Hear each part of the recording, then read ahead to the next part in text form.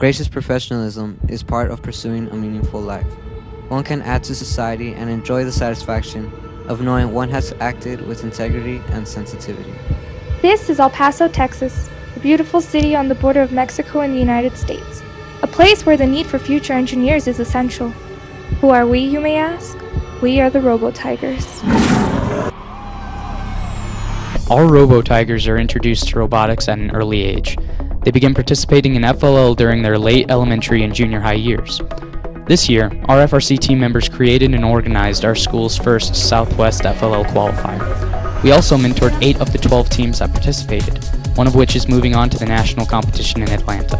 It is our belief that to be a truly experienced and well-rounded team, one must not only learn the skills that come with robotics, but also be capable of passing on those skills to younger students.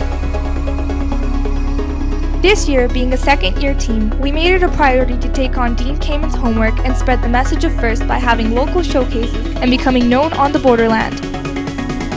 We have been shown on numerous local news channels as elite leaders of technology, all thanks to FIRST. Just as sports teams and other high schools have been recognized statewide and even nationally, our robotics team has made a name for itself. Our Robo Tigers have received so much recognition, in fact, that Congressman Reyes came to acknowledge and congratulate our team for our efforts.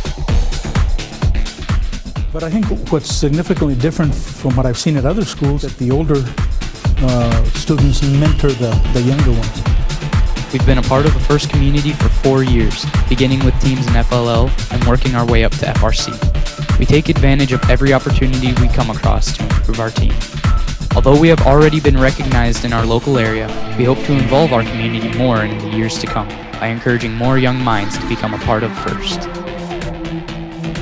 In engineering, it's not just about working alone with one team, but it's also about reaching out to other teams.